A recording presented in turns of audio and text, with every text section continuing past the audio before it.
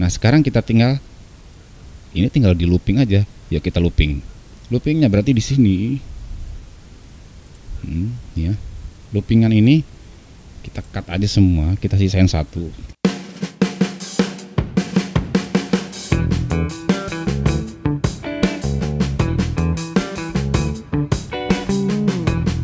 Tinggal kita looping ini.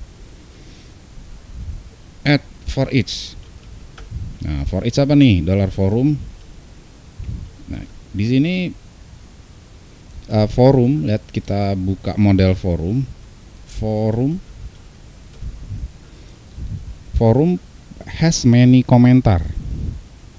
Oke, kita berarti tinggal bisa komentar ini. Tinggal di chaining, tinggal disambung dengan komentar. Komentar gitu. S dolar komentar. Gitu. Gampang banget ya. And for each. For each. Oke, nah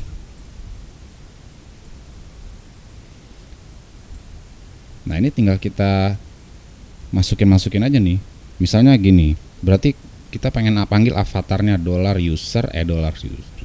Dolar komentar kita panggil di dalam komentar ada user ya. Kita bisa panggil user gitu. Terus di dalam user user titik php user siswa karena user ini terhubung dengan siswa siswa di dalam siswa. Nah ini get avatar gitu. Gampang banget. Ya kita tes. Apakah betul Ismi yang nongol nah dia sudah nongol. Namanya Michael namanya kita ganti. Siapa namanya? Berarti dari komentar kita selalu basisnya dari sini ya. Komentar user siswa siapa nih misalnya?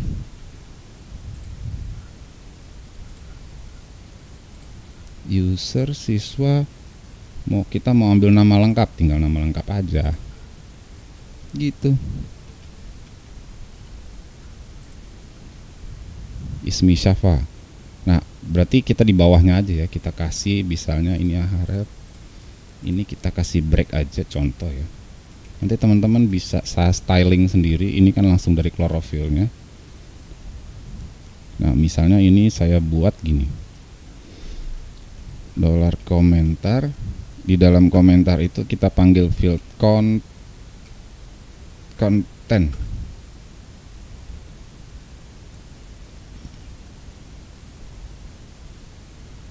ini ya gini ya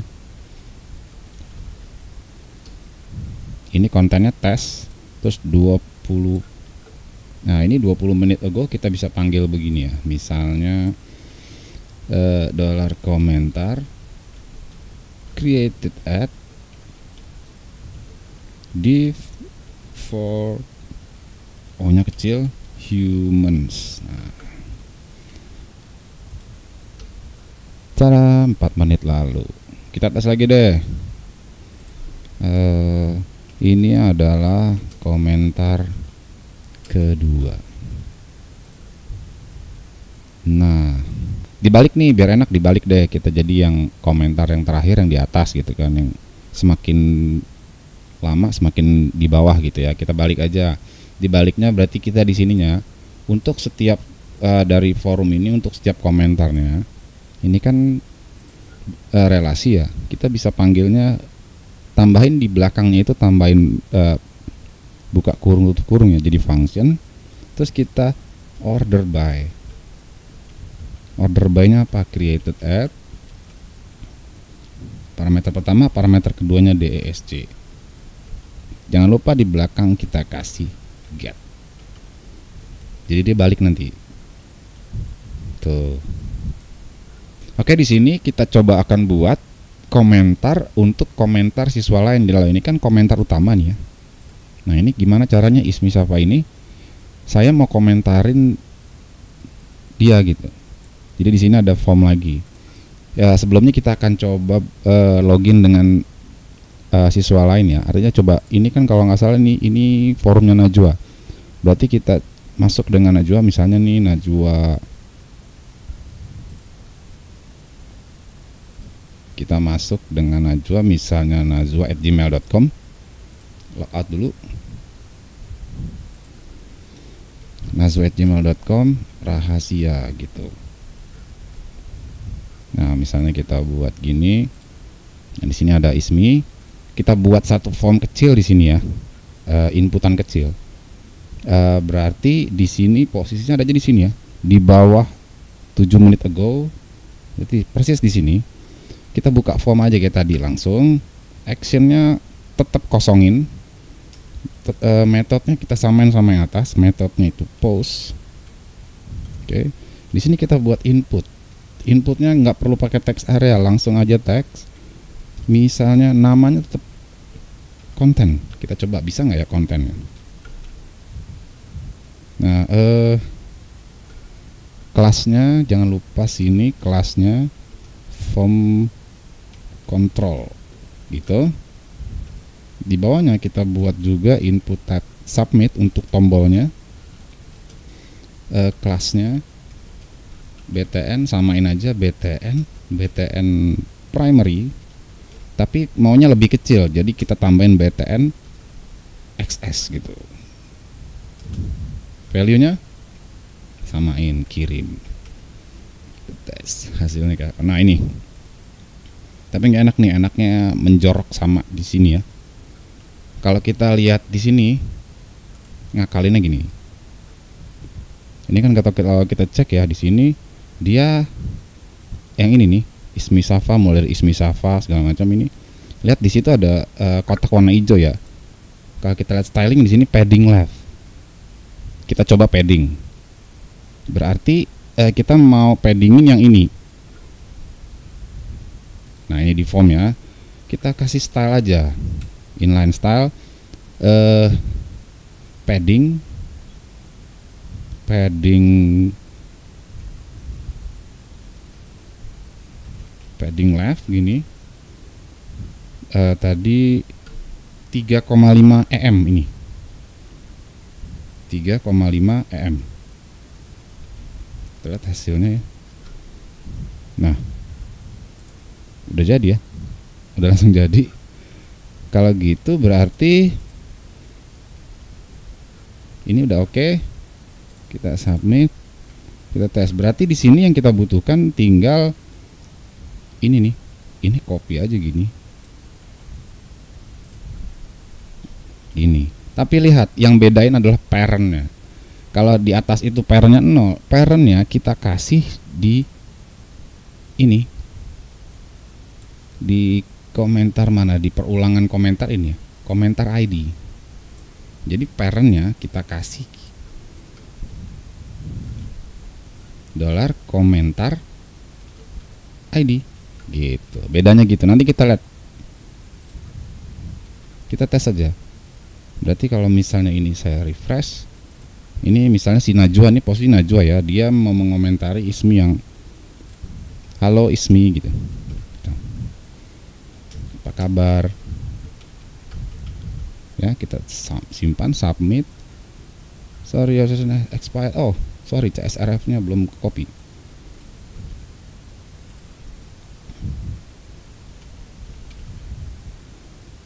Refresh lagi.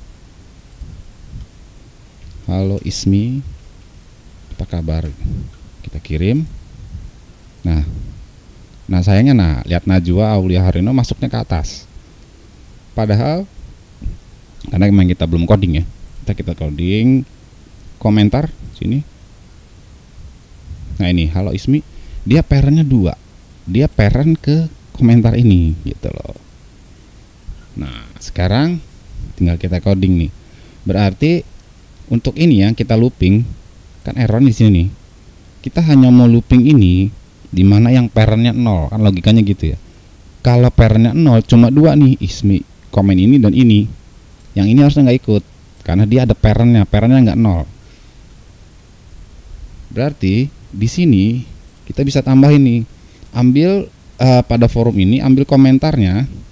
Sebelum order by kita where gitu. Komentar where apa? Kita parent nol. Tes lagi harusnya Najwa hilang. Ya ini parent. Ini yang uh, artinya dia parent. Kalau nol itu artinya parent ya. Dia nggak punya parent lah intinya. Nah untuk setiap komentar ini kita looping lagi di di bawahnya gitu. Nah untuk di sininya kita looping lagi. Misalnya kita pakai P aja deh. Hmm, ya P aja deh. Tes 1 2 3 nah ini ya. E, kita kasih satu break misalnya. Ini stylingnya terserah teman-teman ya. Nah kelihatan di sini ya. Berarti ini kita kayak gini aja deh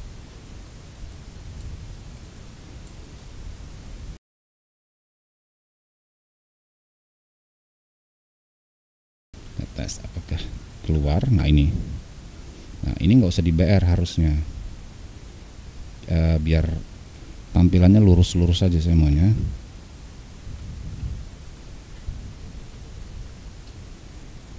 Nah ini nama tes go nanti munculnya di sini ya. Oke nah e, berarti ini bisa kita looping. Nah looping gimana?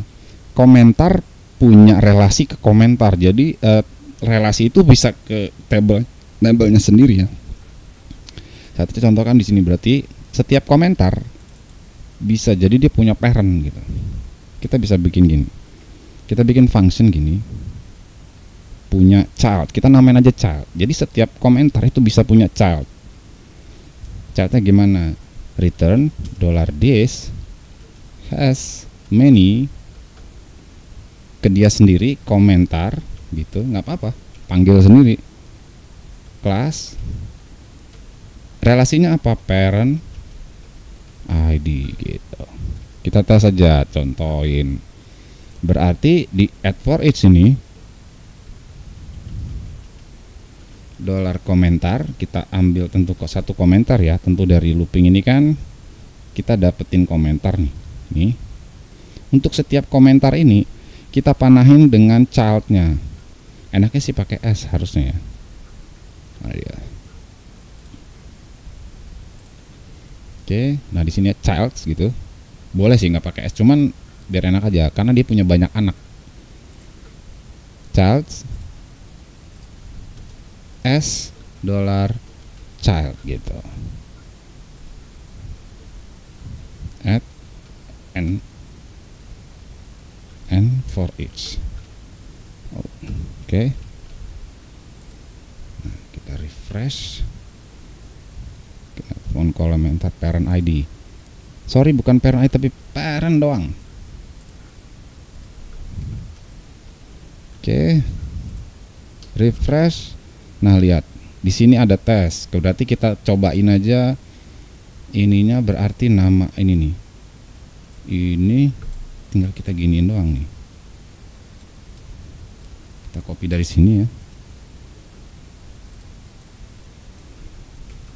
Tapi ini nah ini komentar ini komentar ini kita ganti dengan child gitu. Karena ini yang kita looping kan child ini jadi child gitu. Kita tes apakah betul? Nah Nazwa lo Ismi apa kabar? 5 menit ago. Ini kalau saya komentarin lagi misalnya eh, kamu eh, nilai kamu nilai bahasa Indonesia. Kamu bagus nggak? Kirim. Tuh. Nah ini sama nih kayak tadi juga. Berarti ini kita buat ini naik nih ke atas. Kita tinggal tambahin order buy-nya aja sama. Copy dari sini nih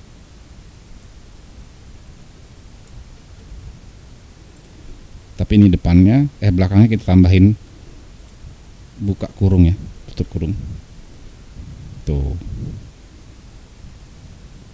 nah, ini sama hai Gitu. Oke, sekian dulu untuk fitur komentar ini. Mudah-mudahan teman-teman bisa dimengerti penjelasan dari saya. Kita akan ketemu lagi di seri-seri selanjutnya.